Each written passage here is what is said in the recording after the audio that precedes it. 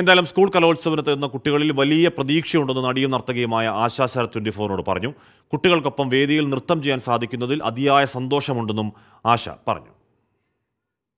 ഇപ്പോൾ ആശാ ശരത്ത് ആശാ ശരത്തിന്റെ നൃത്ത ആവിഷ്കാരമുണ്ട് നാളെ. അപ്പോൾ അതിന്റെ ഒരുക്കങ്ങൾ വിലയിരുത്താൻ ആശാ ശരത്ത് എത്തിയിട്ടുണ്ട് മാം. എങ്ങനെയാണ് ഒരുക്കങ്ങളൊക്കെ വിലയിരുത്താൻ എത്തിയതാണ് അല്ലേ?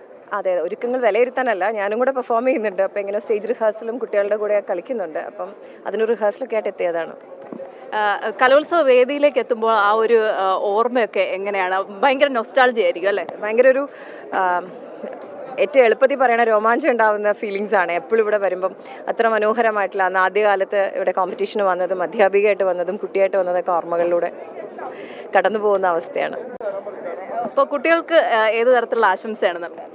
മത്സരിക്കുന്ന എല്ലാ കുട്ടികൾക്കും നന്നോട്ട് വളരെ മനോഹരമായിട്ട് പെർഫോം ചെയ്യാൻ സാധിക്കട്ടെ പഠിച്ചത് പെർഫോം ചെയ്യാൻ സാധിക്കട്ടെ. വിജയം എന്നുള്ളതല്ല എങ്ങനെ അവർ കളിക്കുന്നു അല്ലെങ്കിൽ ഏത് രീതിയിൽ അവർ പാടുന്നു എന്നുള്ളതൊക്കെയാണ് കാര്യം. എല്ലാവരും വിജയികളായിട്ടാണ് ഞാൻ കാണുന്നത് കേട്ടോ. ഈ വേദിയിൽ എത്തുക എന്ന് പറഞ്ഞാൽ തന്നെ വലിയൊരു കാര്യമാണ്. എത്ര കടമ്പകൾ കഴിഞ്ഞിട്ടാണ് ഈ വേദിയിൽ എത്തുന്നത്? എത്ര പ്രാക്ടീസ് അതെല്ലാം കഴിഞ്ഞിട്ടാണ് എല്ലാവർക്കും നന്നായിട്ട് പെർഫോം ചെയ്യാൻ സാധിക്കട്ടെ. മത്സരിക്കുന്ന എല്ലാവരും വിജയികളാണ്. ആ മനസ്സോടുകൂടി തന്നെ വേദിയിൽ എത്തട്ടെ. ഓൾ ദ വെരി ബെസ്റ്റ് എന്തായാലും ആശാ ശരത്തിന്റെ നൃ- നൃത്താവിഷ്കാരമുണ്ട് നാളെ എല്ലാവിധ ആശംസകളും നേരുകയാണ്. ഞാനും സ്റ്റേറ്റിൽ മത്സരിക്കുകയാണ് താങ്ക് യു അതെ അതെ. ആ തരത്തിലുള്ള ആവേശമാണ് ആ തരത്തിലുള്ള ആവേശത്തോടെ കൂടിയാണ് ആശാ ശരത്ത് സംസാരിച്ചത്. ആ തരത്തിൽ തന്നെയാണ് നമ്മൾ ഈ പ്രധാന വേദിയിലേക്ക് നോക്കുകയാണെങ്കിൽ അറുപതിനായിരം ചതുരശ്ര അടി വിസ്തീർണത്തിലുള്ള വലിയ കാണികളെ ഉൾക്കൊള്ളാവുന്ന വലിയ തരത്തിലുള്ള സ്റ്റേജാണ് ഇവിടെ ഒരുക്കിയിട്ടുള്ളത്. ഏകദേശം പതിനായിരത്തോളം പേർക്ക് ഇരിക്കാവുന്ന സൗകര്യങ്ങൾ ഒക്കെ തന്നെ ഇവിടെ ഒരുക്കിയിട്ടുണ്ട്. പ്രധാന വേദി അതാ തയ്യാറായിരിക്കുകയാണ്. കൊല്ലം അതിന്റെ എല്ലാ പ്രൗഢിയോടും കൂടി തന്നെ കലോത്സവത്തെ വരവേൽക്കാനുള്ള ഒരുക്കങ്ങൾ എല്ലാം കഴിഞ്ഞിരിക്കുകയാണ് കഴിഞ്ഞ പ്രാവശ്യം കോഴിക്കോടാണ്. കോഴിക്കോട് വലിയ തരത്തിലാണ് കലോത്സവത്തെ ഏറ്റെടുത്തത്. അപ്പോൾ കൊല്ലത്തേക്ക് എത്തുമ്പോൾ എനിക്ക് പേഴ്സണലി പറയുകയാണെങ്കിൽ ഒരു പേഴ്സണൽ സന്തോഷം കൂടിയുണ്ട്. എന്റെ നാട്ടിലേക്ക് എത്തുന്ന ഒരു കലാമാമാങ്കം കൂടിയാണ്. കൊല്ലം അതിന്റെ എല്ലാ പ്രൗഢിയോടും കൂടി കലോത്സവത്തെ വരവേൽക്കാൻ ഒരുങ്ങിയിരിക്കുകയാണ്.